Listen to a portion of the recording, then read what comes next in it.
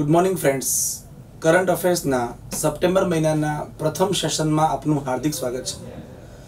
મિત્રો સપ્ટેમ્બર મહિનામાં થયેલી મહત્વપૂર્ણ ઘટનાઓ જે આપણે જોઈશું એ નીચે મુજબ છે. પહેલી ઘટના. પ્રધાનમંત્રી દ્વારા પ્રધાનમંત્રી દ્વારા કાઠમંડુમાં પશુપતિનાથ ધર્મશાળાની શરૂઆત કરવામાં આવી. પહેલી તો વાત એ છે કે આ ધર્મશાળા જે શરૂ કરવામાં આવી એક કલ્ચરલ રિલેશન છે આપણું. અહીંયા ઘણી બધી વાતો પણ થઈ, બરાબર?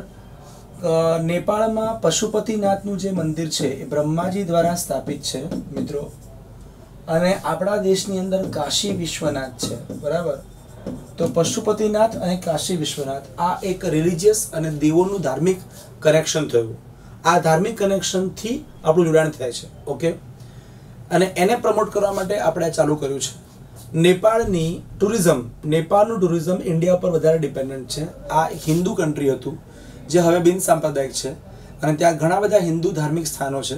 એને પ્રમોટ કરવા માટે આપણે કર્યું. અને એના સિવાય નેપાળ એ ભારત અને ચીનની વચ્ચેનું એક બફર સ્ટેટ છે. આ બફર સ્ટેટ છે એટલે એ બંને વચ્ચે આનું હોવું જરૂરી છે. નેપાળની ભારત સાથેની આઠસો કિલોમીટરની બોર્ડર સેફ છે મિત્રો. એટલે એના એ દેશની અંદર આર્થિક, ધાર્મિક રાજકીય પ્રમોશન આપણે કરતા રહીએ, તો આપણા સંબંધો વધુ સુદૃઢ બને. એટલા માટે આપણે કર્યું. તો પશુપતિનાથ ધર્મશાળાની શરૂઆત કરી. એના સિવાય નરેન્દ્ર મોદી અહીંયા શ્રી નરેન્દ્ર મોદી અહીંયા જાનકી મંદિરમાં પણ ગયા હતા મિત્રો. જાનકી મંદિર એટલે સીતા માતાનું મંદિર. અહીંયા જે આપણે કહીએ, તો આ જાનકી મંદિર અહીંયા સ્થાપવામાં આવ્યું છે, કારણ કે સીતા માતા નેપાળના છે. અને રામ અહીંયા ભારતના, એટલે લક્ષ્મ સોરી સીતા માતા અને રામનું કનેક્શન હોવાથી આપણે એક આને પણ પ્રમોશન કરી રહ્યા છે. એના સિવાય ભગવાન બુદ્ધનો જન્મ નેપાળમાં, તરાઈમાં થયો અને એમને જ્ઞાન અહીંયા બિહારમાં થયું. તો એ પણ એક છે. આવા કલ્ચરલ કનેક્શન હોવાથી આપણે એને પ્રમોટ કરી રહ્યા છીએ. ઓકે નેક્સ્ટ આયુષ મંત્રી શ્રી શ્રીપદ યસુ નાયક દ્વારા પહેલી સપ્ટેમ્બરના રોજ નેધરલેન્ડમાં નેધરલેન્ડમાં ઇન્ટરનેશનલ આયુર્વેદ કોંગ્રેસની શરૂઆત કરવામાં આવી. આ યાદ રાખજો મિત્રો, અત્યારે હાલમાં આયુર્વેદનો પ્રચાર વિશ્વમાં ઘણો વધી ગયો છે. તો આયુર્વેદ જે છે, એને પ્રમોટ કરવા માટે આપણે કરી રહ્યા છીએ અને નેધરલેન્ડમાં આ થવું બહુ મોટી વાત છે. બરાબર? તો નેધરલેન્ડમાં એનો થયો છે. એના સિવાય ત્રીજી સપ્ટેમ્બર રોજ ઇન્ડિયા નેધરલેન્ડનો સહયોગ એમ આયુર્વેદ વિષય ઉપર ચર્ચા પણ થઈ. આ આયુષ જે છે, A Y U S H. એમાં એ એટલે આયુર્વેદ. બરાબર? એ એટલે આયુર્વેદ. વાય એટલે યુનાની? યુનાની. સોરી અહીંયા વાયનો મતલબ થશે યોગા. વાય એટલે yoga. Yoga and naturopathy U એટલે યુનાની. એસ એટલે સિદ્ધ. અને એચ એટલે હોમિયોપેથી તો આમ આ આયુષનો ફૂલ ફોર્મ થાય છે મિત્રો. અને આયુષ આ ક્ષેત્રે કાર્યરત છે, બરાબર? ઓકે તો A Y U S H AYUSH મંત્રી કોણ છે યાદ રાખજો. અને કયા દેશમાં કર્યું એ યાદ રાખજો. અને આ પ્રશ્ન આવી શકે. આયુષમાં A Y U S H ના મિનિંગ પૂછી લે. આવો પ્રશ્ન આવે. નેક્સ્ટ પહેલી સપ્ટેમ્બરના બે હજાર અઢારના રોજ પ્રધાનમંત્રી શ્રી નરેન્દ્ર મોદી દ્વારા ઇન્ડિયા પોસ્ટ પેમેન્ટ બેંક નું ઉદ્ઘાટન કરવામાં આવ્યું છે. ઇન્ડિયા પોસ્ટ પેમેન્ટ બેંક્સ નવી દિલ્હી ખાતે ઉદ્ઘાટન થયું. તાલ કટોરા સ્ટેડિયમમાં આપણા દેશમાં રહેલા એક પોઈન્ટ પંચાવન લાખ પોસ્ટ ઓફિસનું છે. એનું જોડાણ આઈપીબીબી જો કરી નાખવાનું. અને એકત્રીસ ડિસેમ્બર બે હજાર અઢાર સુધીમાં આ બધી બેંક તરીકે કાર્યરત થઈ જશે. બરાબર, ઓકે. તો આમ આપણે આનું ઉદ્ઘાટન કર્યું છે. ઇન્ડિયા પોસ્ટ પેમેન્ટ બેંક આ એક્ઝામ માટે બહુ જ મહત્વનું છે. જો તમે મેઇન્સ આપવાના હોય ભવિષ્યમાં, તો આઈપીપીબી વિશે પ્રશ્ન આવી શકે. વીસ શબ્દોમાં, પચાસ શબ્દોમાં આ તમને ખ્યાલ હોવો જોઈએ. આ એના માટે પણ એક સારો પ્રશ્ન નીકળે છે. ઓકે?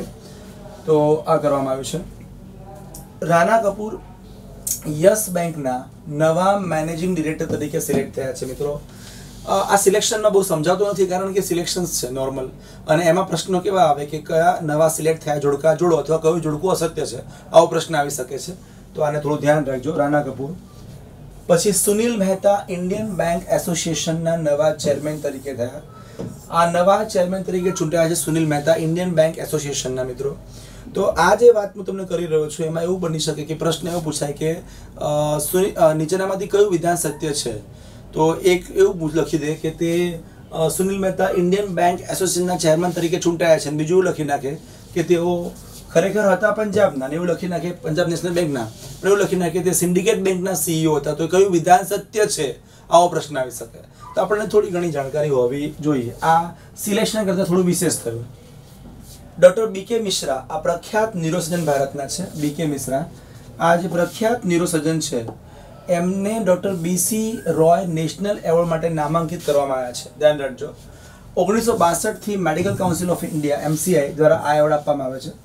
પહેલી જુલાઈ બે હજાર ઓગણીસના રોજ તેમને નેશનલ ડોક્ટર્સ ડેના દિવસે આ એવોર્ડ આપવામાં આવશે. ધ્યાન રાખજો. આમાં એક તથ્ય એ પણ છે કે પહેલી જુલાઈ ડોક્ટર્સ ડે છે. શ્રી રામનાથ કોવિંદ આ એવોર્ડ આપશે. બરાબર? રાષ્ટ્રપતિ શ્રી રામનાથ કોવિંદ આ એવોર્ડ આપશે. Next. R Madhavan, Hindustan aeronautics લિમિટેડના ચેરમેન, મેરી ડિરેક્ટર છે ચૂંટાયા, બરાબર? આર માધવન, ધ્યાન રાખજો. હિન્દુસ્તાન એરોનોટિક્સ લિમિટેડ, આ એવિએશન ક્ષેત્રે કાર્યકારી સંસ્થા છે મિત્રો. આના પ્રશ્ન પરીક્ષામાં આવી શકે સિલેક્શન છે. બિનોય કુમાર આઈએએસ છે. આ સ્ટીલ ઇન્ડિયાના સેક્રેટરી, ઇન્ડસ્ટ્રીના સેક્રેટરી તરીકે નિયુક્ત થયા છે. તો કોમર્શિયલ લેવલે જે સ્ટીલ ઇન્ડસ્ટ્રીની જે આખી ભાગ છે, એના સેક્રેટરી તરીકે આ બિનોય કુમાર નિયુક્ત થયા છે. ધ્યાન રાખજો. તે એક આઈએએસ છે. પછી જસ્ટિસ તાહિરા સફદર, આ મહિલા સશક્તિકરણનો કિસ્સો છે. પાકિસ્તાનના હાઈકોર્ટના પ્રથમ મહિલા ચીફ જસ્ટિસ તરીકે નિવૃત્તિ પામ્યા. પાકિસ્તાનના આઝાદીના આટલા વર્ષોમાં જેટલા આપણે થયા એટલે એમને પણ થયા. એમાં ફર્સ્ટ ટાઈમ કોઈ મહિલા હાઈકોર્ટના ચીફ જસ્ટિસ તરીકે નિયુક્ત થયા છે. એટલે આ બહુ મોટી સફર કહેવાય, આ બહુ મોટી સિદ્ધિ કહેવાય મિત્રો આ પરીક્ષા માટે. ખાઈ શકે. એમાં બલુચિસ્તાન પ્રાંતના હાઈકોર્ટના આ ચીફ જસ્ટિસ બન્યા છે, મિત્રો. તાહિરા સફદર. ઓગણીસો બ્યાસીમાં તેમણે પ્રથમ મહિલા નાગરિક જજ બનીને ઇતિહાસ રચ્યો હતો. બરાબર? એ વખતે. તો તાહિરા સફદર એક એક જનુની સિલેક્શન, મતલબ એક સારું સિલેક્શન છે, જે પરીક્ષા માટે કામનું છે. ઓકે નેક્સ્ટ એશિયન ગેમ્સ બે હજાર અઢારમાં ભારતે સિક્સટી નાઇન જેટલા મેડલ જીત્યા છે. આ તમને પૂછાય. એમાં કેટલા ગોલ્ડ છે, કેટલા સિલ્વર છે અને કેટલા બ્રોન્ઝ છે, આ પ્રશ્ન આવી શકે. પંદર ગોલ્ડ ચોવીસ સિલ્વર ને ત્રીસ બ્રોન્ઝ છે. ચીન બસો નેવ્યાસી મેડલ સાથે પ્રથમ નંબરે આવ્યું. આ પ્રશ્ન પૂછી લે, કેટલા પ્રથમ મેડલ જીત્યો? એમાં એકસો ને બત્રીસ જણે ગોલ્ડ જીત્યા. જાપાન બીજા નંબરે છે અને રિપબ્લિક ઓફ કોરિયા ત્રીજા નંબરે છે. આપણા માટે કામનું છે. અઢારમાં એશિયન ગેમ્સ આ હતા, આ અઢારમાં હતા. ક્યારે થયા તો અઢાર ઓગસ્ટથી બે સપ્ટેમ્બર? ક્યાં થયા તો જકાર્તા પાલેમબર્ગ ઇન્ડોનેશિયા? ત્યાં થયા છે. તો મિત્રો, આમાંથી, આમાં તો ઘણા બધા ફેક્ટ બેઝના ન્યૂઝ છે અને આ વિધાનવાળા પણ ન્યૂઝ બની શકે તેમ છે. માટે તમારી અવેરનેસ આમાં હોવી જોઈએ. ઓકે નેક્સ્ટ જૈન મુનિ દિગંબર આચાર્ય તરુણ તરુણ સાગરજી, બરાબર કે તરુણ સાગરજી, એકાવન વર્ષની ઉંમરે મૃત્યુ પામ્યા મૃત્યુ પામ્યા. તેઓ લાંબા સમયથી બીમાર હતા અને પૂર્વ દિલ્હીના રાધાપુરી જૈન મંદિરમાં એમણે પોતાના અંતિમ શ્વાસ લીધા. સડસઠમાં એમનો જન્મ મધ્યપ્રદેશના દામોહમાં પવનકુમાર જૈન તરીકે થયો હતો. તો મિત્રો, આમના વિશે પ્રશ્ન આવી શકે છે કે આ આમનું મૂળ વતન શું હતું? મધ્યપ્રદેશ, બરાબર ઓકે અને તેમના પ્રવચનોનો સંગ્રહ પરીક્ષામાં પૂછાય તો કડવે પ્રવચન અને બહુ સારું બોલતા. સામાજિક ક્રાંતિ દિશામાં બહુ એમનું ઊંચું કામ હતું અને બહુ સારું એમનું એક પ્રવચનો બહુ સારા હતા. સત્ય બોલતા. સત્ય બહુ જ આમ એ કહેવાય ને કે એમ સામાજિક વસ્તુ જે ખરાબીઓ છે એને ઉજાગર કરતા હતા. એ રીતે છે. નેક્સ્ટ છઠ્ઠી પૂર્વ એશિયાઈ સમિટ અને પંદરમી ઇન્ડિયા આસિયાન આર્થિક મંત્રીની સમિટ સિંગાપુરમાં થઈ. આમાં આટલું યાદ રાખવાનું, ખાલી ક્યાં થયું? તો સિંગાપુરમાં થયું. આપણને આટલી ખબર હોવી જોઈએ. વધારે ખબર ના તો કઈ નહીં. બરાબર? ઓકે નેક્સ્ટ એક હજાર વિધવાઓ માટે મહિલા અને બાળ વિકાસ મંત્રી શ્રીમતી મેનકા ગાંધી દ્વારા ઉત્તર પ્રદેશમાં વૃંદાવન ખાતે વૃંદાવન ખાતે, મથુરાના વૃંદાવન ખાતે કૃષ્ણ કુટીર બનાવવામાં આવ્યા છે. એમાં મુખ્યમંત્રી યોગી આદિત્યનાથનો સહયોગ મળ્યો છે આપણને, એમને. તો કૃષ્ણ કુટીર શેના માટે છે વિધવાઓ માટે છે.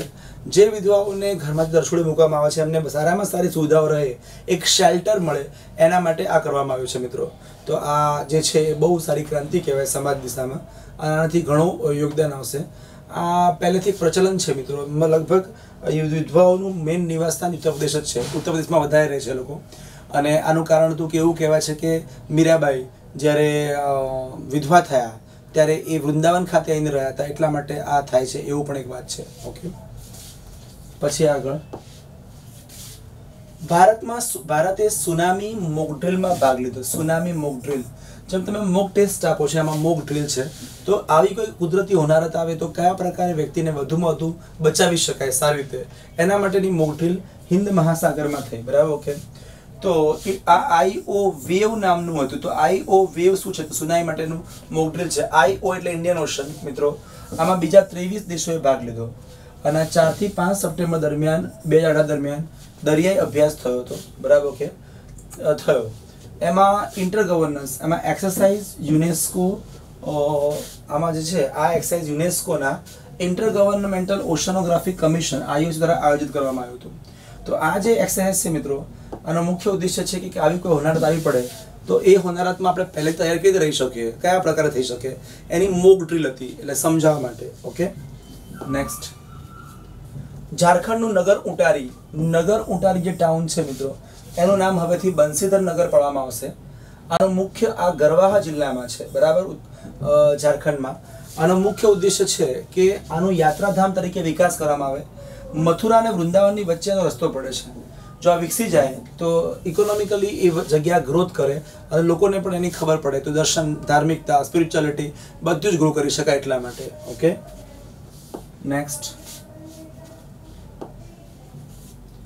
સ્કૂલમાં ભણતા બાળકો માટે દિલ્હીમાં આંતરરાષ્ટ્રીય ચેસ ટુર્નામેન્ટનું આયોજન કરવામાં આવશે.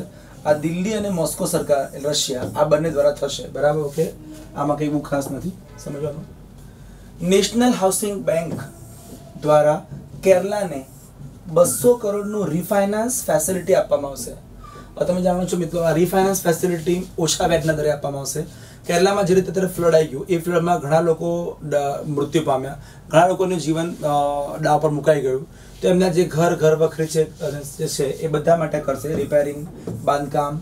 તો એ કેરલાને આપશે આ લોન કોણ આપશે? તો નેશનલ હાઉસિંગ બેંક બરાબર okay next Alastair Cook UK બ્રિટનના ઇન્ટરનેશનલ ક્રિકેટથી સંન્યાસ લીધો છે એમણે. અને ઓગણસાઠ ઇંગ્લેન્ડની ટેસ્ટમાં કપ્તાની કરેલી છે મિત્રો. તો આનો પ્રશ્ન પૂછી લે કે આ કયા દેશના છે? આપણને ખ્યાલ હોવો જોઈએ. Alastair Cook, okay? Next Subramaniam Badrinath, આ ક્રિકેટર છે. બધા પ્રકારના ક્રિકેટથી સંન્યાસ લીધો.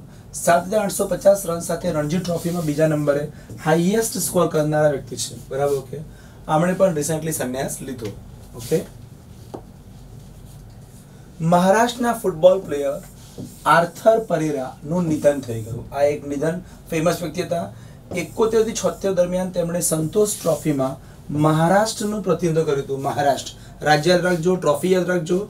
અને એ શું હતા આર્થર પરેરા એ આપણને ખબર હોવી જોઈએ. કોફી ઉત્પાદકો માટે કેન્દ્રીય મંત્રી, આ ઇન્ફોર્મેશન ટેકનોલોજીના ન્યૂઝ છે મિત્રો. આ એક એપ્લિકેશન સ્ટાર્ટ કરવામાં આવી છે.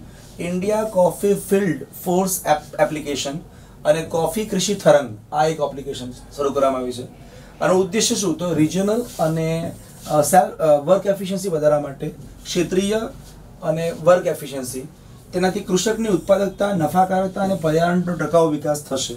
તો આ એપ્લિકેશનનો મુખ્ય ઉદ્દેશ્ય એઝ ફાસ્ટ એઝ કૃષકોને એની માહિતી મળે અને પોતાનો ક્રોપ ક્યાં વેચો ક્યાં ન વેચો બધી માહિતી અમને મળી જાય. આનો મુખ્ય ઉદ્દેશ્ય એ છે. ઓકે તો યાદ રાખજો મિત્રો એ India coffee field force application અને કોફી કૃષિ તરંગ.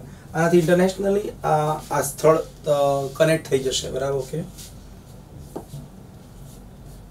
ભારત બે હજાર બાવીસ સુધીમાં આ સોલર એનર્જીના ન્યૂઝ છે. એક સો ગીગાવોટ સૌર ઊર્જા ઉત્પન્ન કરવા માટે કટિબદ્ધ છે. આ પ્રશ્ન આવી શકે છે, મિત્રો. ભારતની વધતી જતી ઊર્જા જરૂરિયાતો માટે પુનઃપ્રાપ્ય ઊર્જા સ્ત્રોતો પર ધ્યાન કેન્દ્રિત કરવા માટે જરૂરી બન્યું છે. કેન્દ્રીય નાગરિક ઉડ્ડયન વાણિજ્ય અને ઉદ્યોગ મંત્રી દ્વારા તેની શરૂઆત થઈ. તેનાથી કાર્બન ફ્રી ઊર્જા ઉત્પન્ન થશે. બધાને ખબર છે કે આપણે જે ફોસિલ ફ્યુલનું દહન કરીએ છીએ, એમાં કાર્બન ઉત્પન્ન થાય છે. આમાં ક્યાંય કાર્બન હશે નહીં. માટે આ સૌર ઊર્જા ક્ષેત્રમાં બહુ મોટી ક્રાંતિ કહેવામાં આવે છે. બરાબર? ઓકે. પાંચ સપ્ટેમ્બર રાષ્ટ્રીય શિક્ષક દિવસ તરીકે ઉજવાય છે. બધાને ખબર છે? આપણે શિક્ષક બનતા હતા. સર્વપલ્લી રાધાકૃષ્ણનનો જન્મદિવસ છે. જેમનો જન્મ અઢારસો અઠ્યાસીમાં થયો હતો પાંચ સપ્ટેમ્બર.